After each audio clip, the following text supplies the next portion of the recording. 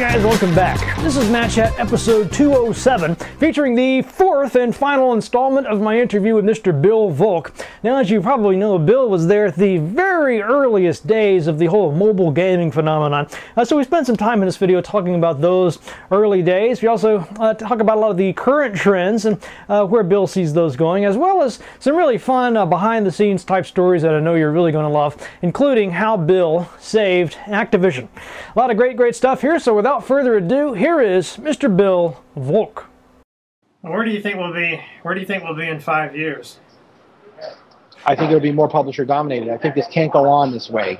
I think you'll have, you know, consolidation and maturation. It'll be more publisher dominated. I think even though everything right now is free to play, free to play, free to play, there is a place for rich paid apps, and I hope that that continues. Um, I, I think the thing that will surprise you most on the iPhone is is how simplicity is winning out over and over again. So take the game of Pictionary. Pictionary is a game where I draw something and you have to guess what it is, right? There were a ton of Pictionary apps, and then Draw Something comes out and it's less than all of them. Less features, less functions. Heck, there isn't even a winning lose. All it is is, is basically sitting on a tennis court, volleying the ball back and forth with another player. There's no win or lose. Well, they won. They succeeded. Now, obviously, it had its day in sun. It's not doing as well. Maybe Zynga messed it up. Who knows? Uh, but it succeeded. It was a busy, fastest succeeding game ever in history, and it was simple. So on the iPhone, you've got the simplicity, and also back in the 80s and 90s, we'd always talk about how can we get your mom to play games? How can we get Joe Sixpack to play games? Well, they're playing games.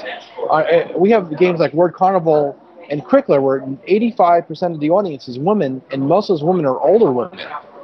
That's extraordinary. That never happened. So games have now become part of our lives. I saw a graph of what people do on their mobile phones, randomly chosen, and the biggest time people spend their mobile phones now is games, and that's everyone. In Japan right now, there's a game called Puzzle and Dragons on mobile that 10% of the population is pay, playing. Let me make that clear. That's not 10% of iPhone users or Android users. 10% of the entire population of Japan is playing Puzzles and Dragons. And Puzzles and Dragons is simple. It's we're going to make creatures that look like Pokemon creatures. You're going to fight them, and you're going to fight them using a game mechanic, which is a bejeweled, match-three crystal puzzle. And you're going to be able to create new monsters, right? four almost four million dollars a day in revenue, and 10% of the population of Japan is playing that. When has it ever happened before that you have huge parts of the population playing these games? So that will increase. Where wearable computers like the Google Glasses go, either it's a big success or a big failure. Who knows? It could be anything. I mean, that's about all I got for you, Bill. I'm kind of curious how, how you uh, met the Fat Man. How what? Hey, what? How you know the Fat Man? Oh, the Fat Man. So, back in 1982, I take a position at that company doing the draw package and stuff at Valdocs, you know, Rising Star. And I want to do a paint program. So I find this guy called Rick Sanger who's about to go to the South Pole for the summer to work at the South Pole Research Station. And Rick wants to do the paint program. I say, Rick, why don't you get a computer called the Jupiter Ace? Take the Jupiter Ace, which runs Forth, and write a paint program that we can eventually run on the Epson QX10. So he goes off to South to South Pole, starts writing Val Paint, which I help him design. I'm working on Val Draw, the drawing, the drafting program, and we released Val Paint. And he has a brother. His brother's name George Sanger, and I hired George, and I hired George's wife at the time to do UI stuff, and also I'm interested in music. I want to I'm trying to get this QX10 to be a really cool computer. Seen this QX10, you know, um, to be a really cool computer. And uh, I even have a color version of the QX10 that almost no one had. I had a version that had, this is in 1983, I had a 640 by 400 graphic, uh, eight color display thing with video coprocessor. It had the NEC uh, 7220 coprocessors, and it was great. And so I hired George. I hired George Sanger. I got George Sanger into the computer business. Um, I also had working with me at Rising Star David Warhol, who had come from Mattel and would later on to go find Real Time Associates. Um, I was trying to do surreptitiously start a game division at, at Epson, at, at, at Rising Star. So I hired George to figure out cool music stuff that could be done on this machine, and also to do UI design with his wife, Linda. Linda was his wife at the time. Um, so yeah, that's how I know George Sanger. I gave him the job in 1982, 83. 83. That's it. But boom. Uh, was there anything else that you want to talk about that we haven't mentioned? I know you did some uh, I'll tell you the, uh, the, grocery the- the- coupons and the rude, uh, rude tones. And, Yeah, the coupon thing was basically someone cornered me at a party and said, "Hey, you got to help this guy. He wants to do internet coupons." So I was finishing up at, Ri- at Lightspan in '99, and I took this job as CTO of the coupon thing. We got a million people on the coupon system. It's like 2000 is like the worst year of my life because two things happened. One, Save.com got to be very successful, but then was sort of blown up actually almost was sold to another company for a lot of money, and, and I don't want to get into details, but it didn't happen. And Lightspan, which I left Activision to go to, went public, and for a while there, I was uh, very wealthy on paper, but unlike uh, other people, I was restricted. I couldn't sell my shares to August, and the entire stock market collapsed. So yeah, I did I did Save.com because I understood the technical difficulties of launching a system that ran on browsers that allowed people to print grocery store coupons, and I could and I could design it, and I did. And I had a lot of people working me. I helped do the patent application on that and all that. And it looked like a really good idea, it was kind of interesting. And um, and then everything blew up in 2000. And by then, I'd been out of the mainstream video game industry for six years. So I went to do mobile games because of that. I got interested in mobile games because I knew what was going on in Japan with uh, Docomo, uh, NTT Docomo. I knew about things like location-based games that were happening in Japan in, in 2001, 2002. I started doing, I, th- I did my first mobile game, produced my first mobile game in 2000, which was basically flashcards in WAP. And then I, oh, you haven't asked the crazy question. What is Bonus Mobile? What is the Dozens? Do you know about this? That's the Wayans Brothers uh, game, right?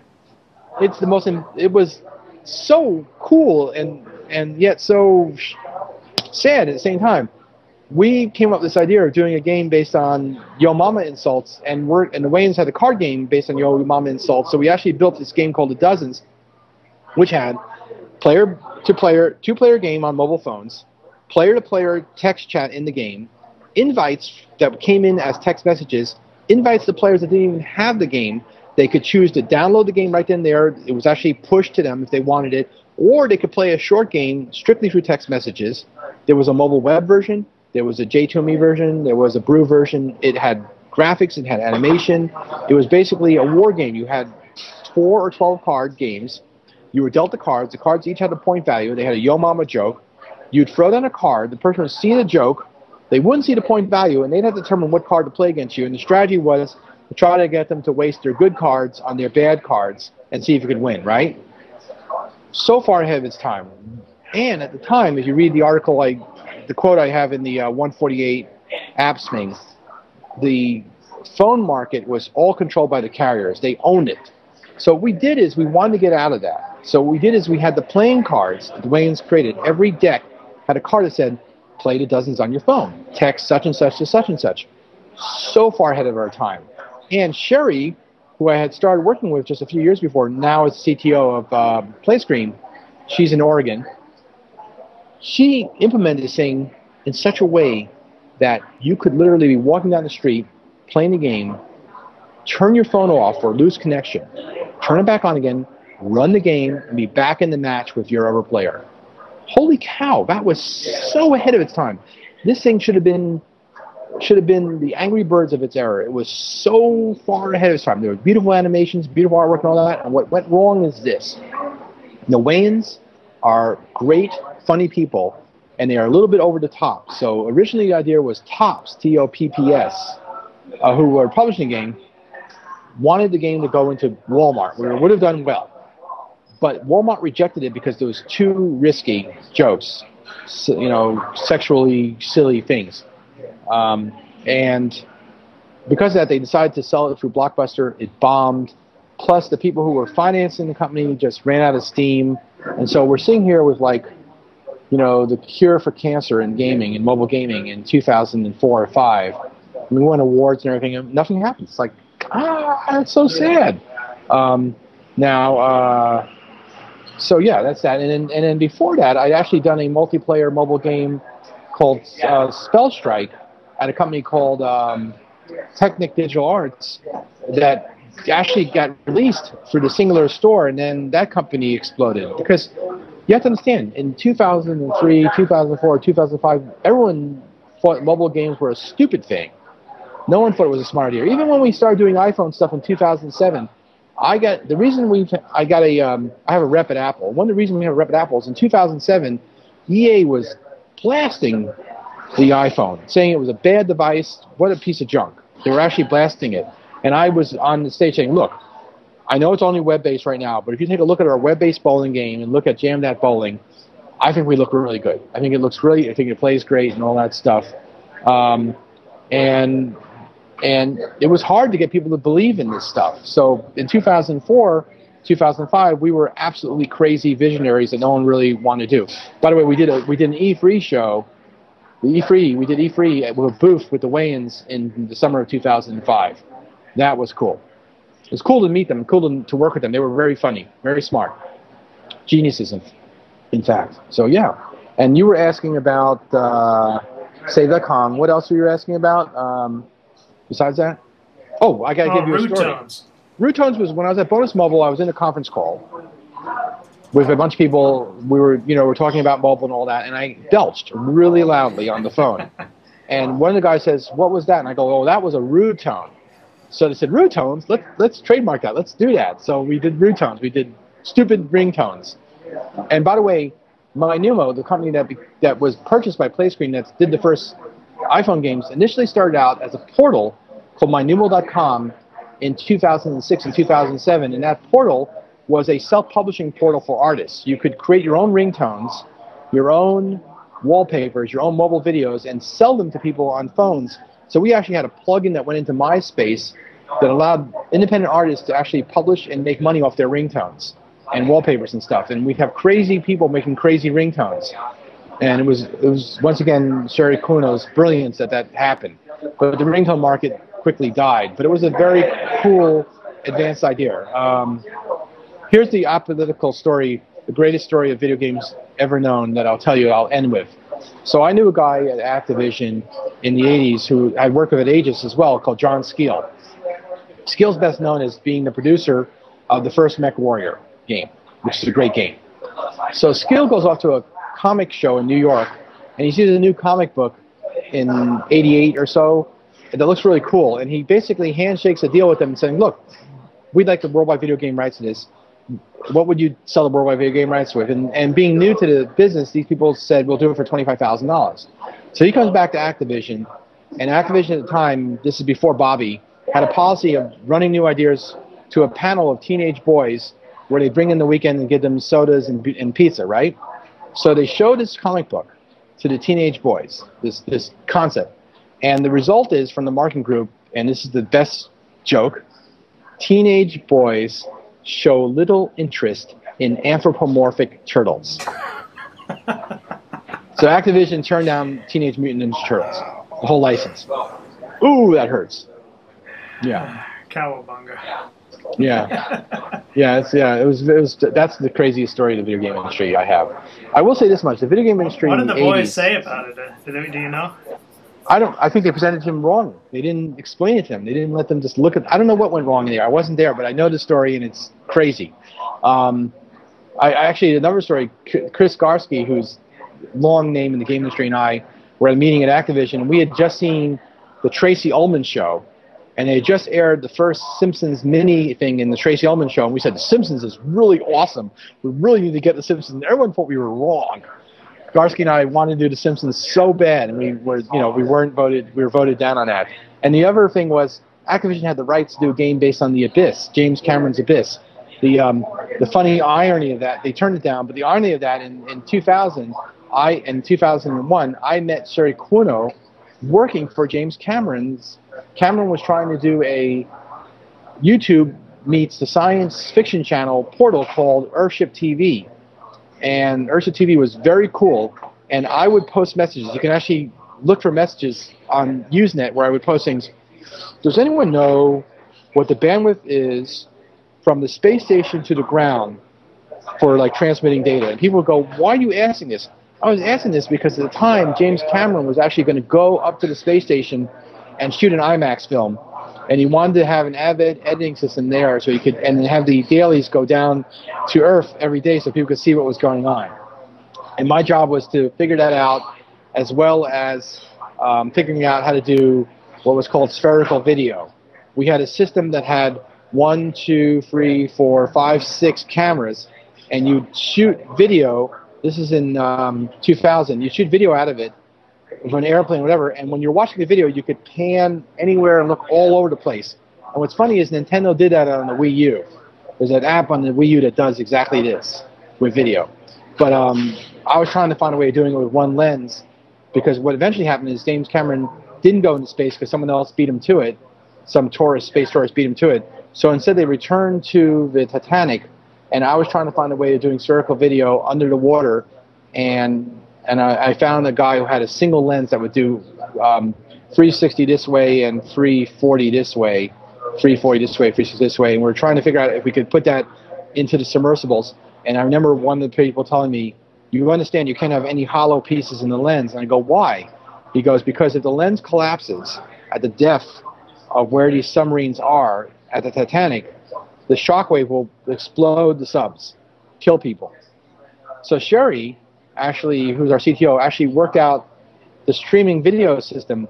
So what they would do is they'd have these remote submersibles playing out fiber optics, which the Cameron genius has figured out. His, one of his brothers is a is a, a, genius in terms of devices, and they play out this one strand of fiber optic, and that would be piping the two high def videos back to the submarine, and then they would send the stream up to the surface, and then satellite from the ship would go to a to a satellite, and then would go to a facility in, in um, El Segundo, and they would edit it and stuff, and within an hour it was on the internet. So they were doing live, one hour delay broadcasting from the submarine, and Sherry was the person who pulled together that digital video streaming thing.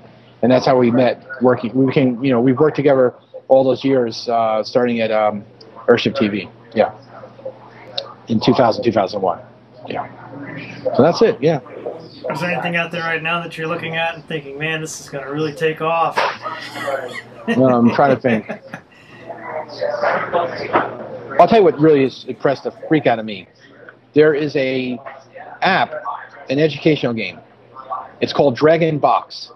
Is a game where you have uh, two sides of the screen and you have objects, and your attempt is to remove many of them possible by dragging the objects around, and there are rules. Well, this is algebra. It's algebra hidden. It doesn't use numbers, it uses symbols, but it's algebra. It doesn't use A, B, C, or D. It uses pictures of creatures and stuff, but it's algebra. And four-year-olds are using Dragon Box and learning algebra. Absolutely learning algebra. I look at Dragon Box and I go, hmm, this is pretty impressive. And then I realize that every part of education that's out there could be transitioned to this. We could transition our entire educational paradigm into one of play. Right now, education in America is sort of like the beatings will continue until morale improves. It's all that's moved more towards standardized testing. It's more drill and kill, um, and you got to be careful about this because one of the things that's uh, a story that's floating around about this crash, and I was I flew into San San Francisco on Monday afternoon, and when I landed in San Francisco, as the plane was landing, I could see the burned out wreckage of the plane that had crashed. And one of the stories that's out there, and you can Google this, is from a trainer, an American trainer who trained these pilots. And he says the problem they had is they were so accustomed to rote learning. They were magnificent students, but they were so accustomed to rote, rote learning, it doesn't prepare them for things like this, like that could happen in an airplane. It's a problem. So rather than just pigeonholing education, games like Dragon Box, and, th- and I can envision tons of these. And I actually floated a business plan years ago to do this. I think what's going to happen is this schools are going to adopt tablets in a big way because in the long run it's going to save them money. You don't have to replace the tablets every year, but you know, ruggedized tablets as a school device is a brilliant idea because you can do books and you can do books that allow annotations, but more importantly, stuff like Dragon Box could happen. And Dragon Box blew me away because why couldn't you do that with everything? Why couldn't you do that with all of math, science, reading? Why couldn't you make it all together? That's what Lightspan was trying to do on the PlayStation 1. We were trying to basically create games that actually did hard curriculum things. But Dragon Box is like you look at this and go, this this is this works, and there's no reason why it can't work for everything. So that blew me away. And and I, I was at a, a meeting this um, week, and I talked to some venture capitalists. I said, "What do you anticipate happening here?" And they basically said, "Well, the rich parents will get it, and no one else will." And that's sad. Equally impressive, related to this, is what one laptop per child did. They shipped a bunch of Android tablets to a remote village in Ethiopia or Sudan, one of those countries, with no instructions. And the tablets were locked. They couldn't do a lot of things, but they could run some apps. The kids figured out how to use them, and they actually hacked them. They hacked them so they could get the camera app working. This is actually a documented story. So they were basically functionally illiterate children living in a remote area of Africa, handed these tablets and figured it all out. And we're learning things and doing things. It's like, why do we have this paradigm? Like Einstein used to say, if you force feed a lion steak every day, eventually will hate steak. Kids come to school, they're excited about school and stuff, and we kill that enthusiasm. Stuff like Dragon Box, stuff like the, you know, Angry Birds is a physics game. It doesn't take much to take Angry Birds and turn it into a physics lesson. You know, momentum and uh, conservation of energy and trajectories and so on. You know, there's lots of things you can do, and I hope that this takes gets taken up because it would really it's really sad. We're in the state we're in in education. We're really producing uh, we really have a problem you know? When I taught when I was at University of New Hampshire grad school doing those games for Avalon Hill I would teach um, astronomy lab. And these are this is in the 80s I don't think the situation is getting any better. Students would come into class and you know uh, you know equation like that they could not plug values for x and get y. They couldn't do it. They were basically mathematically illiterate, and in terms of writing ability, um, they were pretty bad also. I would actually recommend to anyone who wants to get in the game industry, you must learn how to write. Um, it really helps. I, I owe a lot of success because I went to a school that was a liberal arts curriculum. Yes, my degree was physics and astronomy, but I was forced to take a full liberal arts uh, curriculum, including writing papers that would. I remember I wrote a paper in a class on Shakespeare, my first paper at Penn. I wrote this 10 page paper, typed it up. We didn't have word processor, so I typed it up on the Selectric, right? Handed it to professor. When I came back to get the paper, you know what he did? Do it over. Tore it up in front of me and said, Do it over. This is terrible writing. Get drunk and write. Learn how to write. That's and I and I can write. You know, I can write for a living if I have to, uh, and that's an important ability to do a game. So I'm I'm I guess the thing that most impresses me is that people are able to do things with tablets. Like we have one game called Word Carnival. It's just a word finding game, but someone told me that their child has dyslexia, and because the game always has easy words, because the board is always changing, there's always an easy word waiting for you. You don't have to go for complicated words. Their kid was able to progress. And my videographer comes from the Dominican Republic. English is the second language. He used to score 40 and 50 points. Now he's in the top 10 all the time, 700, 800 points in Word Carnival. He literally improved his English skills just by playing the game. And Luminosity, of course, is touting this with adults with their Luminosity site. But I keep saying, tablets are going to take over in schools. This could happen. It could be really good. It's it's um yeah it's when times are tough. I always remind myself that I've been in the business a long time, and it's kind of cool that I've been in the business a long time, and it's nice to to be able to actually sit back and look at the span of 30 years in the game business and to see an industry grow from nothing to something extraordinary, bigger than the movie business. That's pretty cool. I go to E3 and I'm like, yeah, big smile on my face because it's fun, you know? It's cool stuff. So we go to places like that. Do people recognize you and ask for your, your autograph? Oh my God! I was in line at a taco stand at one conference, and a guy named uh, Dan Winters is in line, and he goes, "Yeah, Bill saved Activision." He was like, "He's an Activision." He's like, "Bill saved Activision. Return of Zork saved Activision." This man, he was crazy because I was really eccentric back then. I, I I was well, for one, I was 120 pounds heavier, and I was an uber nerd, and so Dan Winters is going on and on about how crazy I was at Activision, but also saying to people, oh, yeah, Return of Zork was really important. Activision was in Chapter 11. Return of Zork did really well. It was an important title. And, you know, it's kind of cool, you know. But, uh, and yes, and I told you before, I have been at a bar in San Francisco once where someone said, want some rye? And handed me a rye, rye whiskey. That was, that was awesome, you know. And I didn't even come that line. That's Eddie Dombrower. Eddie Dombrower, the producer of Return of Zork, the creator of Earl Weaver Baseball. It's his line, but I because I, am associated with the game. I get that happens to me sometimes. Um, and then finally, once I was at a furniture store about four years ago, and I walk in and there's a kid behind the desk playing on an Apple II, and uh, he's playing my game. That was like, what? Why? Why is he playing Conflict 2500 in 2004, 2008, whatever? You know, it's funny. Yeah. Yeah, but it's fun. There's a lot of possibilities, a lot of. But Tanel's right. The iPhone market is terribly hard. He's absolutely right. Tell him I said so if you ever talk to him. Oh yeah, sure.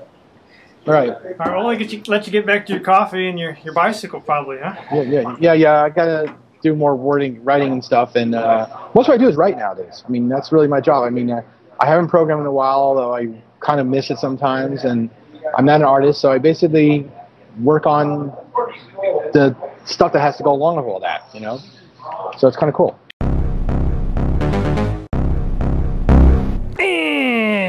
That's all for this week's episode. I hope you guys enjoyed that. I should be back next week, and I've got a hell of a show there for you. It's going to be a retrospective of a game called Tales of Illyria. And this is just something I, I'm really just, I love in this game, and I'm really looking forward to sharing it with you. Unfortunately, I've hit a bit of a snag technically, uh, and I need your help.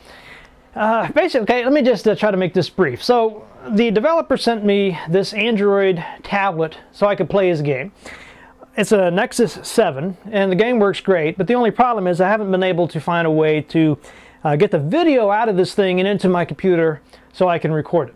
I actually ordered a little adapter thing from Amazon that apparently did what I needed it to do, but it just didn't work at all.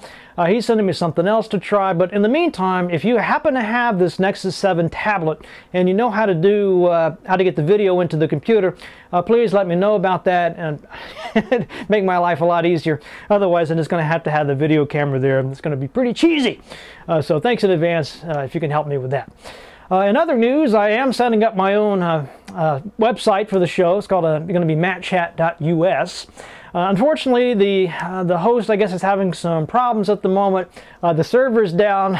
you know what? What can you do? It's just uh, you know bad timing on my part, I guess, with this. So won't be able to show it to you.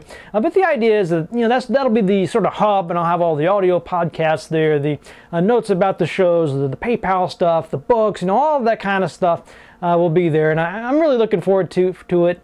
I think you guys will really enjoy the site. So hopefully uh, next week I'll have more information on that.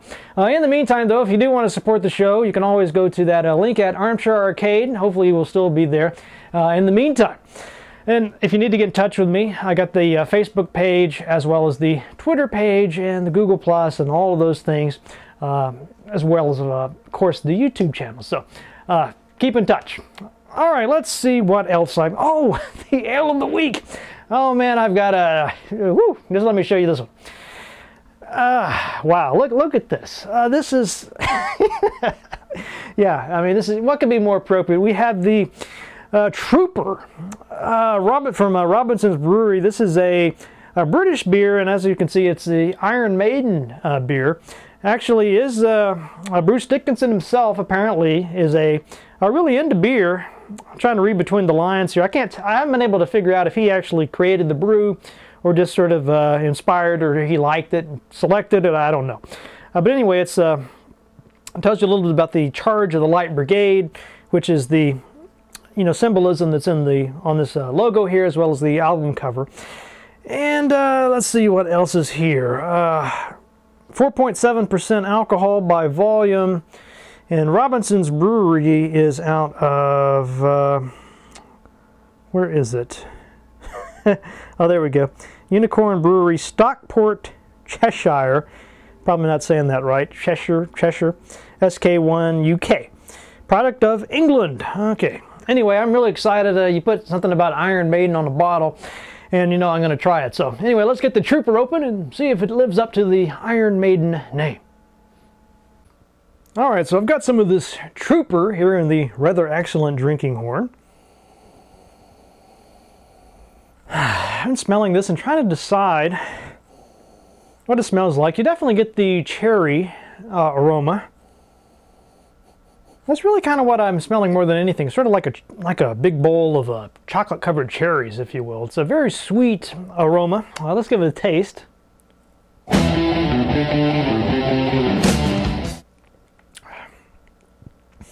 Get a. It's it's it's very thick and very uh, flavorful. You definitely it's sort of hitting those lighter notes.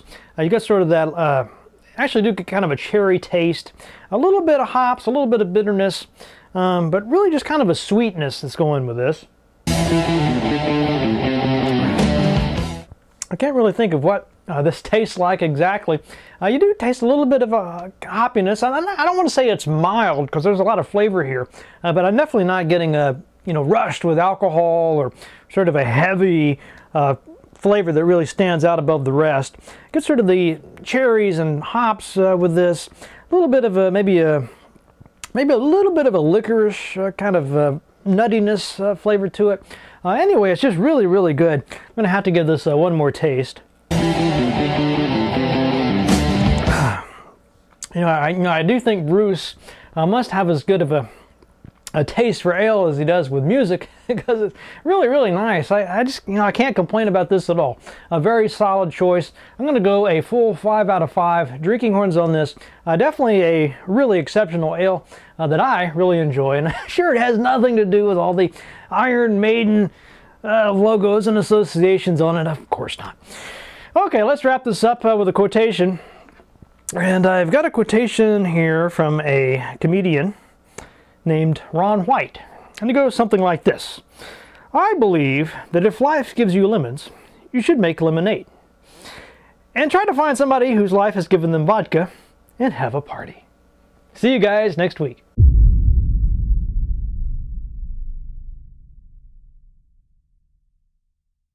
Talking about the audience, hey, these guys come across, you know, most of the, the fans in the audience are guys. Yeah. They come across well, as I don't know, well, yeah. well, there might be a couple of girls that claim to say. No, I think there's, there's quite a few girls out there. If you go and have a look. I will. girls we we will there. be going out. You're right, yeah, I know you. They se- they seem pretty Go aggressive. and talk to the communards.